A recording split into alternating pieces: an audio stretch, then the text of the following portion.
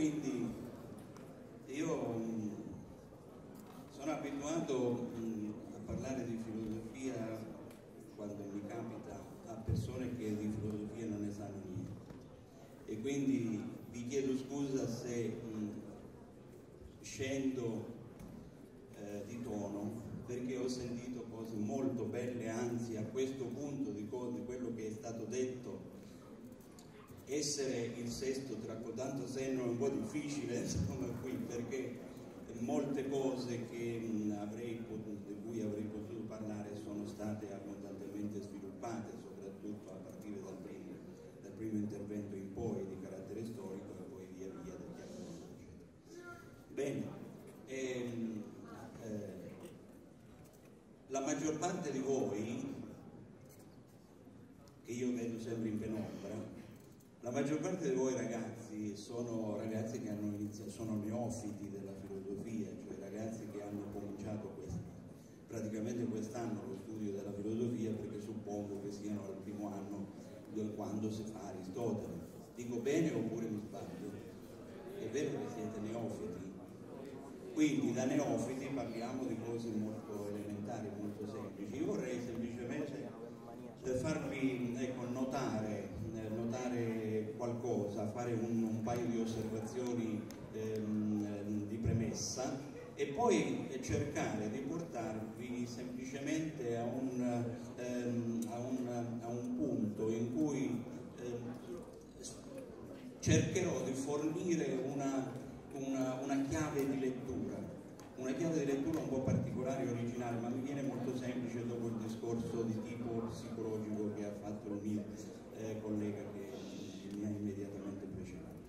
Allora, eh, ha, voi che avete fatto filosofia quest'anno, vi siete resi conto certamente che tutto l'inizio della storia della filosofia è legata e ritorna continuamente dai primi filosofi che avete conosciuto, dai primi filosofi dell'Ellade, filosofia nasce nell'Ellade, vero?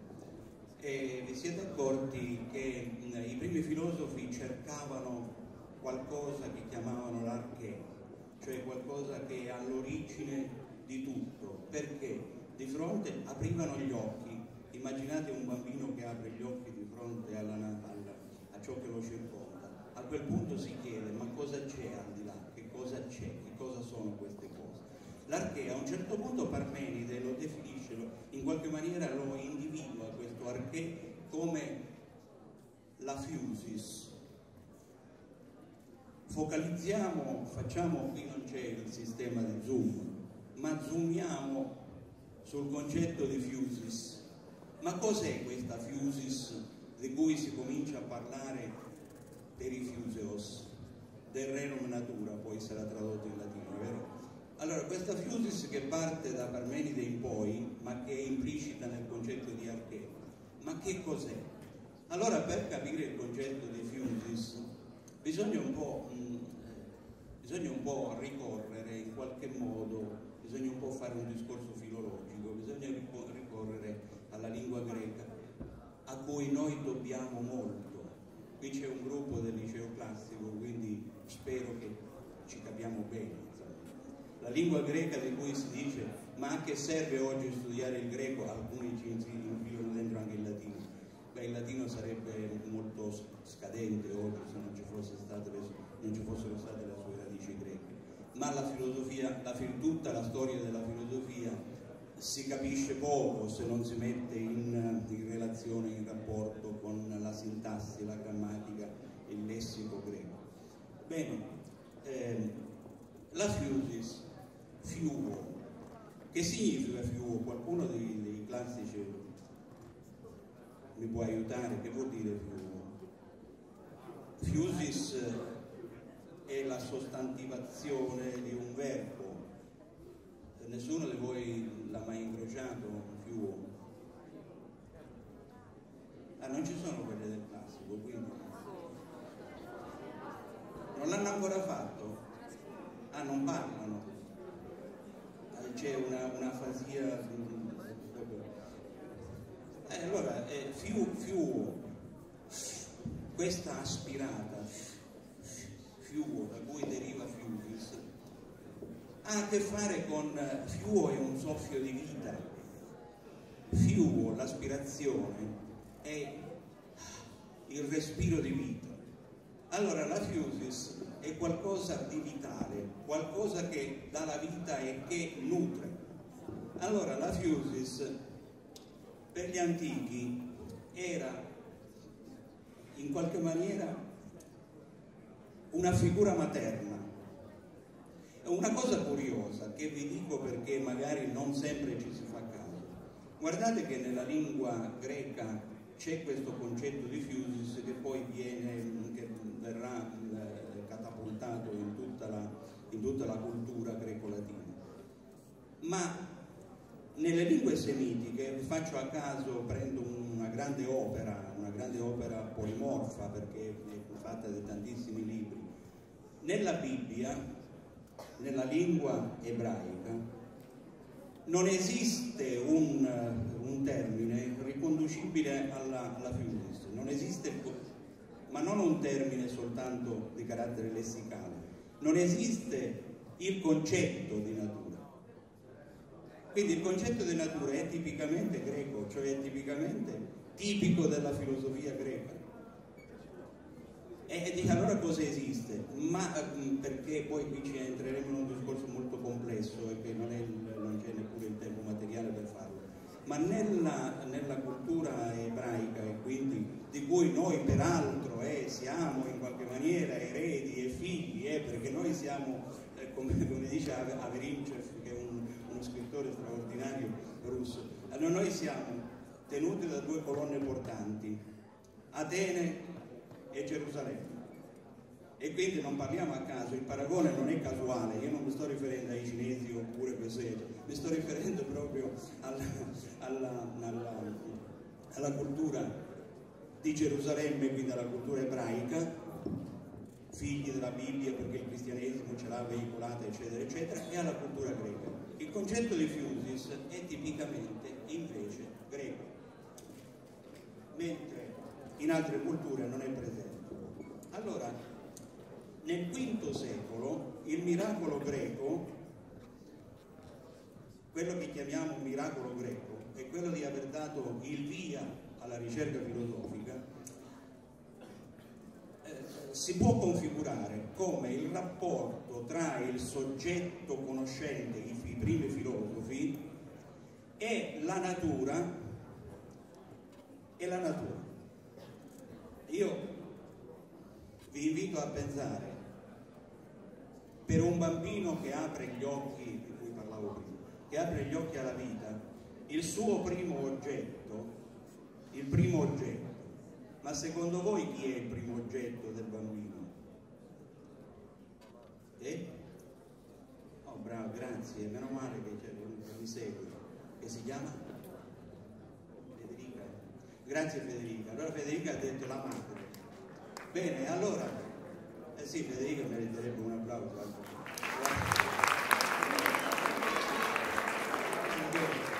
È segno che stiamo facendo un discorso così che lo stiamo seguendo insieme. Allora il primo oggetto di conoscenza è la madre. Ma guardate, in qui chiedo aiuto alla psicologia alla psicanalisi di Freud e del, della scuola psicoanalitica, in particolare di Melania Klein, che hanno parlato dell'oggetto. Allora, se la fusis, se, il, se l'oggetto di conoscenza del bambino è la madre, ma non è la madre come, eh, come oggetto contrapposto, come un oggetto che sta al di là della, della soggettività del bambino, No, la madre è un po' è parte del bambino stesso, cioè il bambino la avverte come parte di sé. E la madre non è tutta intera, ma è quella che la, la Klein chiama un oggetto parziale. Questo oggetto parziale, pensateci bene, per il bambino ancora che non ha capito bene quanto è grande il mondo e l'universo, è il seno materno da cui prende il latte e quindi da cui prende la cosa più importante che c'è, il nutrimento. Allora questa è già una metafora estremamente interessante, io penso, perché per gli antichi filosofi la fusis in qualche maniera è una madre, è una madre da cui si prende il nutrimento. Fusis, infatti, è la nutrice, quella che nutre. Quindi tutto questo discorso e questa metafora a che mi serve? Mi serve semplicemente per, per, per proporvi il concetto che la conoscenza, la conoscenza eh, del, degli oggetti, quindi la conoscenza oggettiva, e di conseguenza la, la, la, la dimensionalità soggettiva del soggetto conoscente nasce da questa posizione. Potremmo configurarla in questa condizione, e cioè il bambino conosce la madre attraverso un rapporto di ricerca di che cos'è la madre. Ma i bambini sono sempre molto preoccupati rispetto alla, alla, alla, alla madre, sia quando cercano il latte, quindi quando vogliono essere nutriti, sia via via la presenza materna, la presenza dei genitori stessi è avvertita come una necessità, come un bisogno, come una condizione di vita, tanto è vero che spesso gli incubi dei bambini stanno nel fatto di perdere i genitori o l'affetto dei genitori, è vero o no? Quindi, eh, quindi è importante questo fatto. Perché a un certo punto si ha bisogno di pensare che la madre Fusis con cui si ha rapporto ci sia sempre, non sia passeggera, non sia mortale, diciamo così, non sia soggetta alla scomparsa, ma sia presente, sempre.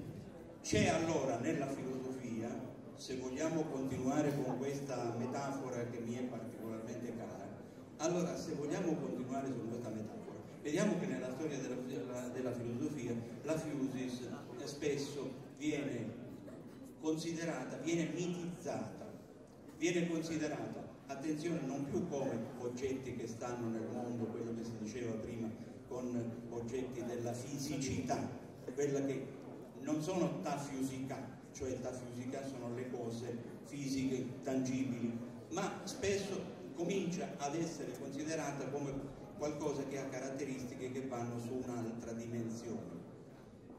In Platone, tutti ormai l'avete fatto, quindi diciamo una cosa semplicissima, c'è a un certo punto una, una, si introduce una forma che chiamiamo di dualismo, cioè da un lato c'è le cose fisiche che sono tuttavia passeggere, che, su cui non bisogna contare troppo, mentre le cose che contano, quelle che non finiscono mai, stanno in un'altra dimensione siderale. Vi ricordate il concetto di iperuranio che già avete fatto? Allora le cose vere, quelle che vere, cioè le essenze delle cose, quelle che non, non conoscono crepuscoli, stanno nell'iperuranio, cioè stanno altrove mentre le cose fisiche sono, diciamo così, soltanto delle apparenze. Ricorderete sicuramente il mito della caverna, ricordate tutte queste cose. Bene, procedendo attraverso questi dualismi, cosa succede? Che a un certo punto la conoscenza, il filosofo, ehm, nella sua ricerca, il bambino deve crescere, anche il filosofo deve crescere quindi la storia della conoscenza attraversa una strada, una evoluzione, una strada evolutiva. Il, il, il, il, ricercatore che cresce, il soggetto conoscente che cresce, a un certo punto deve prendere le distanze dal, dal genitore, si deve affrancare dalla dipendenza genitoriale. Questo succede a tutti i bambini, succede anche a voi cioè la persona adulta è quella che va verso l'affrancamento dei legami infantili e quindi quello che va verso l'indipendenza, quindi va verso la, il, la conoscenza della propria soggettività. Notate bene una cosa, subiectum, questa è una cosa molto semplice che ci arrivate tutti attraverso il latino, subiectum significa che è soggetto, non è che è protagonista di un'azione di conoscenza di se stesso, e chi è che lo rende capace di riconoscersi soggetto? La relazione con l'oggetto. Se non esistesse l'oggetto, il soggetto non riuscirebbe mai a riconoscersi come oggetto. Dico in un altro modo più semplice, se non esistesse la mamma e il papà, se non esistesse l'oggetto con cui confrontarsi, non esisterebbe la coscienza, la possibilità di riconoscersi nella propria soggettività. Non so se questo è abbastanza semplice, abbastanza. Quindi è proprio nella relazione. Guardate che nel, nel quinto, tra il, quarto, tra il quinto e il quarto secolo a.C., quando si in Grecia si stabilizza, diventa ormai diffuso il dialetto attico, entrano in gioco le, la declinazione.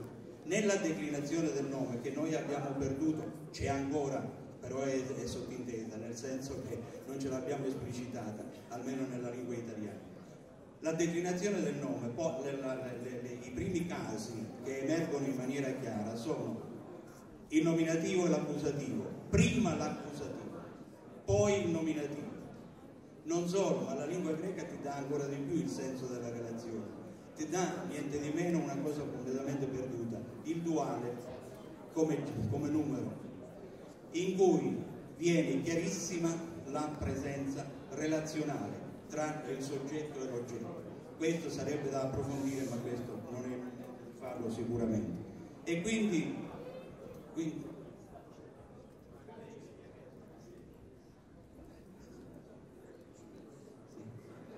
mi hanno detto che si sente del chiacchiericcio che dà fastidio in qualche maniera, quindi se potete è questione di, di poco perché siamo ormai all'indirittura d'arrivo.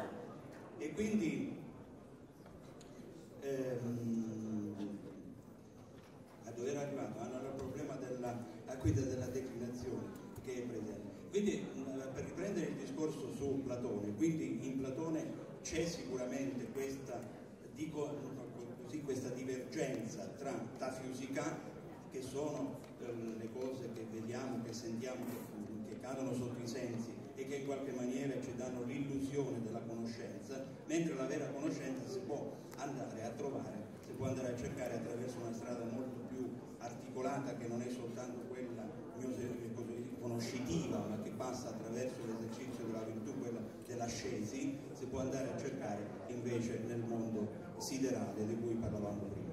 Perché abbiamo fatto tutta questa ampia premessa? Una cosa molto semplice per, per andare alla conclusione ed è questa, che l'eredità di Platone, l'eredità platonica, quella di cui parlava il professor Chiaradonna prima, nella, nell'Accademia, dove si discuteva molto, dove si contestava e si eh, criticava molto, ehm, che, qual era il nocciolo proprio più, più complesso, più controverso delle discussioni dell'Accademia. Possiamo immaginare che il nocciolo più controverso per quelle notizie scarne che ne abbiamo dal, dal, dai dialoghi e dagli scritti platonici, e dagli, scusate, dagli scritti aristotelici, la, eh, il, il, gli aspetti più problematici erano relativi proprio a questi dualismi che erano rimasti in piedi con la filosofia platonica. Allora il dualismo, ma cos'è la verità? Mettiamola così con una parola molto semplice e molto onnicomprensiva. Cos'è vero? Quello che noi possiamo vedere? No. Allora che cos'è vero? Quello che non possiamo vedere, quindi quello che sta nella sideralità dell'iperuranio, che, che cos'è? Quindi, ma allora il corpo quanto vale rispetto all'anima di cui abbiamo parlato prima, rispetto alla possibilità di conoscenza dello spirito. Allora, ecco, forse era qui tutto il problema. Questo problema dei, del dualismo, dei dualismi platonici, non, è, non si è fermato soltanto all'Accademia, alle discussioni con gli allievi di Platone. È un problema che poi si è proiettato nella storia per un semplice motivo, perché il platonismo prima e poi il neoplatonismo dopo, quello ehm, hanno inevitabilmente, eh, sono stati, eh, direi catturati, sono stati eh, adottati dal, neo, dal nascente cristianesimo, quindi dalla cultura cristiana in, eh, che ha incrociato, che aveva bisogno di una coinè per potersi esprimere e quindi sono stati adottati e eh, nel tempo si sono diffusi. Guardate che passeranno secoli prima Aristotele nell'Accademia ha cercato di risolvere il problema dei dualismi e infatti qual è stato la, il, il, il, merito direi di Aristotele, perché ne stiamo parlando con la fisica? Ne stiamo parlando, la fisica intanto non è un trattato di, così aristotelico in senso stretto perché non lo ha scritto, non lo ha eh, eh, pensato lui, ma è stato messo insieme da scritti diversi di Aristotele. Quindi io non, non voglio cercare di, di, di, entrare sul discorso della, della, della, del trattato della fisica di Aristotele che è stato compilato intorno al primo secolo, quindi 200 e passa anni dopo Aristotele stesso. Quindi qui non c'entriamo proprio, ma mi interessa soltanto una cosa, la fisica è intesa come scienza della fusis e quindi come scienza degli oggetti, come scienza delle cose. Come, che cosa ha portato Aristotele in questo mondo? Aristotele ha detto, guardate, questo è il concetto, è stato espresso poco prima dal professor Chiaradonna, quindi lo accenno soltanto ma senza ripeterlo. Ha detto soltanto una cosa, guardate che come non esiste una casa, ecco, semplicemente un aggregato, un, un insieme di mattoni, ma esiste il, eh, il progetto, l'architettura della casa che rende la casa, che la rende reale. La rende reale perché c'è la materia, chiamiamola così in maniera grossolana, dei mattoni, ma poi c'è la forma che è il disegno della casa, il progetto della casa che la rende casa. Allora Aristotele non ha fatto altro che questo, ha cercato di partire da fisica, cioè dalle cose fisiche, dicendo che non esiste scienza o non esiste conoscenza, è lo stesso discorso, perché grazie a questo fatto poi è stato possibile arrivare al 1600 con Galileo attraverso tutta una serie di passaggi che adesso non, non, non diciamo perché tra l'altro non li avete ancora fatti, ma è, è stato possibile arrivare alla scienza reale. E cioè è stato possibile a quel bambino che era abituato a succhiare dal seno materno il latte della conoscenza, è stato possibile arrivare al punto da riconoscere la Fusis, la madre, quella che prima lo ha nutrito e gli ha dato il latte, riconoscerla come oggetto, non come oggetto paritario, cioè il soggetto si pone di fronte all'oggetto in, in termini di, di parità e quindi può veramente trattare l'oggetto. Capite che trattare l'oggetto significa pure interrompere, cioè entrare nella logica della scienza naturale? Quindi il merito di Aristotele alla fine merito che Aristotele non ha potuto cogliere immediatamente per la ragione che ho detto prima, perché il platonismo è stato dominante per i secoli successivi, quindi con tutte le accezioni possibili con tutte le manovre anche distorcenti possibili. Aristotele partendo dal, eh, dalla, dalla, dalla, Fusis, da, da Fusica, ha, ci ha regalato la possibilità di spingerci fino all'età adulta e quindi all'età adulta dal punto di vista della conoscenza e della filosofia. La filosofia diventa adulta quando riconosce che la materia, diciamola con questi termini grossolani, la materia deve essere il terreno, la base di partenza perché si animi di forma e questa diventi conoscenza reale. Quindi non va sottovalutato tutti gli aspetti eh, eh, materiali della conoscenza, tutti quelli di cui si parlava prima, la biologia per esempio, tutti gli aspetti vitali diventano, diventano approfondibili soltanto se c'è, eh, la, eh, la, se c'è la, il riconoscimento dell'oggetto totale. Quindi ecco il senso del, del titolo di questo discorso, siamo passati dall'oggetto parziale, che è, che è il, una fusis ancora materna, maternale, all'oggetto totale che invece è l'oggetto nella sua completezza e che dà eh, la dimensione piena anche alla, alla conoscenza del soggetto.